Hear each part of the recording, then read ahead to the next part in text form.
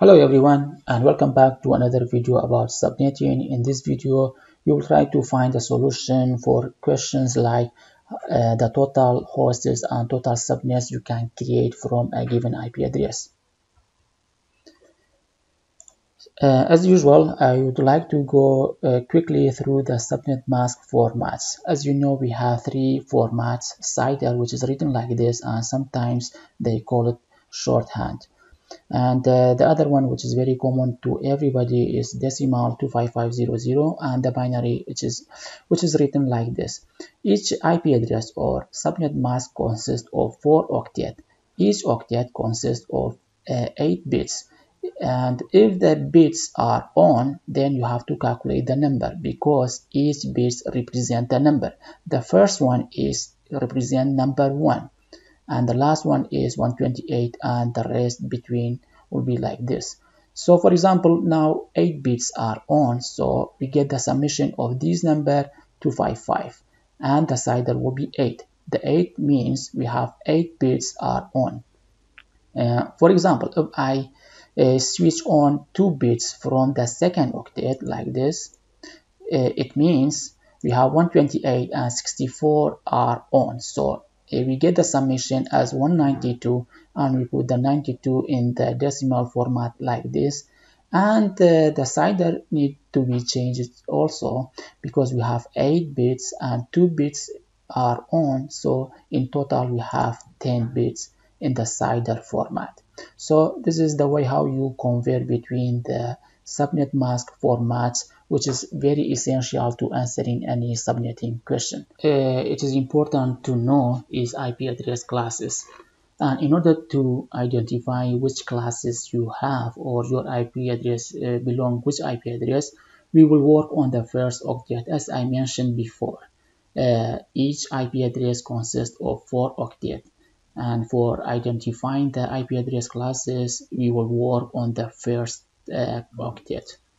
So uh, according to this, uh, the common classes we have class A, class B, class C, E, and D. But the most used or the most common classes are A, B, and C. So as I said, we will work on the first octet to determine or identify the uh, classes. So if the first class is 1 or uh, 127 or a number between these, uh, it means your uh, IP address is belong uh, class A.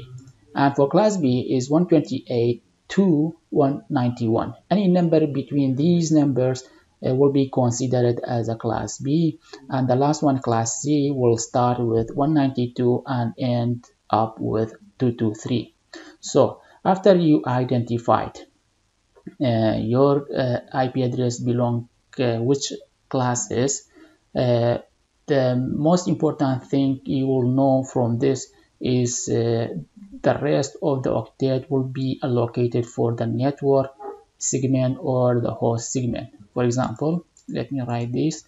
So uh, for the class A, only the first octet will be allocated for the network segment and the rest will be for the host. And in class B, the first and second network uh, second octet will be allocated for network. Third and fourth octet will be allocated for host. If you didn't understand this you will get it from the uh, the example which we explained in the next slide.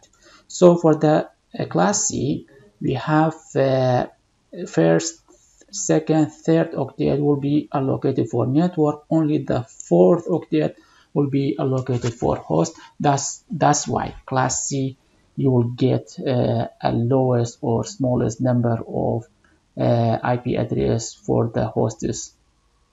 So let's go through uh, the example and answer the question how you find the total number of hosts and total number of subnets. Uh, for example we have an IP address here and a subnet mask like this. So let's see the steps and how we find out uh, what is la the largest number of subnet and the largest number of uh, hosts you can get from this IP address when the subnet mask is this. So the the first step is in uh, as I mentioned in the previous slide is which uh, classes is your IP address is belong to because our IP is start with 192 this means we have class C so uh, because uh, the first octet is 192 so we have class C which means we have one octet for the host. And let's see why it is important to know uh, uh this octet is for host. So the second step we convert the subnet mask we have to a binary. So we have 25555 and uh, the way is written like this because uh, 255 all octet all bits needs to be on and the second and the third. But for the last one 240 in order to get this number four bits needs to be on. Why? Because 128 plus 64 plus 32 plus plus 16 we, we get 240 so now our uh, subnet mask is ready to be worked on it. And because we have class C so we have uh, one octet for host. So this means this octet uh, our focus will be on this octet all workers will be on this octet and the rest will be ignored. So let's see how we work on the last octet and how we find the large or the most uh, or the or the subnet the largest number of subnet we can create from this IP address. So uh, what we do, uh, we have uh, like a equation, uh, total number of subnets is equal to power number of subnet. The total number of hosts is equal to 2 power of number of hosts. Where we get this subnet and host? We get it from the last octet because we have class C as I mentioned. If we have class B, we will eh, take the third octet into our consideration. But because we have class C, all works will be done on this. And uh, as you see, we have four octet on and four octet are off.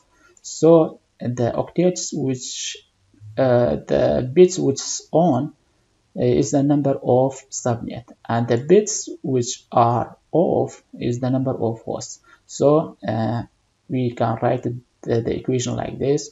2 power 4 because 4 uh, bits are on we get uh, 16 as the total number of subnet and for the host is the same. 2 power 4 we get 16 hosts per host uh, per subnet. So this is the answer of our question the most important thing is you determine the IP address classes. After that you change it to binary and from the binary uh, if the bits are on uh, it will be considered for the number of subnet and the binary which are off will be considered as the number of hosts hosts so let's go to the next example uh, we have IP address 172.2.0.1.0.0 and the subnet subnet mask is like this. So let's get started. Uh, as I said, the first step which IP address is which IP classes is belong to because we have 172 so we have class B so uh, when we have class B so we have two octet for hosts so we work on these two octet.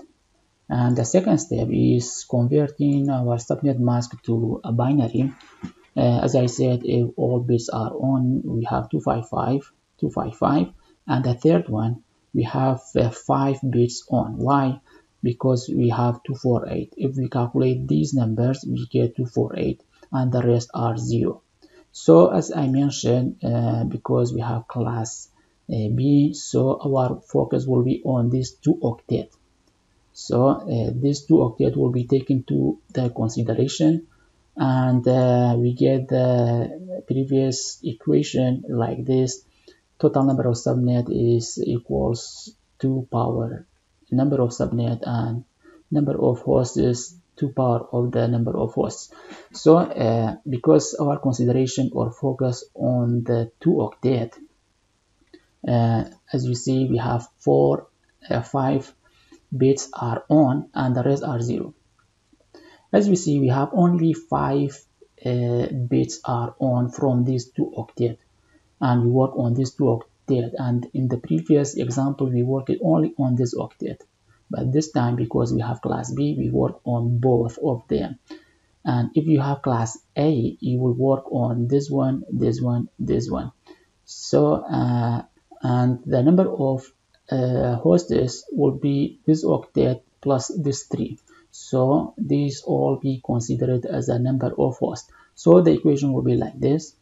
Uh, 2 power 5 as I said because we have 5 bits are on and 2 power 11 because we have 8 plus 3 means we have 11 and we get 2048 hosts per subnet so this is how you find the total number of subnet or network from an IP address and the total number of hosts per each subnet. I hope this uh, explanation was clear for everybody. And if you like it uh, hit a like. And if you like other to see this video please share it and uh, if you have any question or anything you didn't uh, get it from this video please drop me a comment. I will try to answer you as soon as possible. See you in my next video. Goodbye